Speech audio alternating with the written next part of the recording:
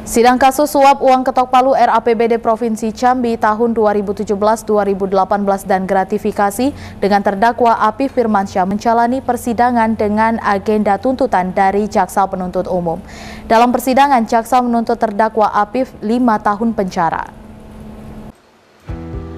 Terdakwa Api Firmansyah kasus suap uang ketok palu RAPBD Provinsi Jambi 2017-2018 dan gratifikasi menjalani sidang dengan agenda tuntutan dari Jaksa Penuntut Umum di persidangan Tipikor Pengadilan Negeri Jambi pada Kamis 30 Juni 2022.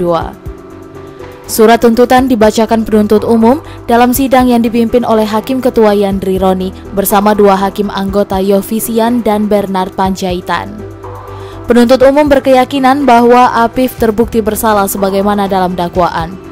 Dalam tuntutan, jaksa menuntut majelis hakim menjatuhkan putusan yang menyatakan Apif terbukti secara sah dan bersalah dengan pidana penjara selama lima tahun sebagaimana pasal 12B Undang-Undang Nomor 31 Tahun 1999 tentang pemberantasan tindak pidana korupsi dan dakwaan kedua pasal 5 ayat 1 Undang-Undang Nomor 31 Tahun 1999 tentang pemberantasan tindak pidana korupsi.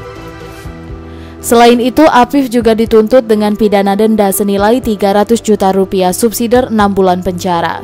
Kemudian Afif juga harus membayar uang pengganti senilai 4,3 miliar rupiah subsidiar 2 tahun penjara. Penasehat hukum Afif Firmansyah Erwin Syah menyatakan pada dasarnya pihaknya menghargai tuntutan jaksa.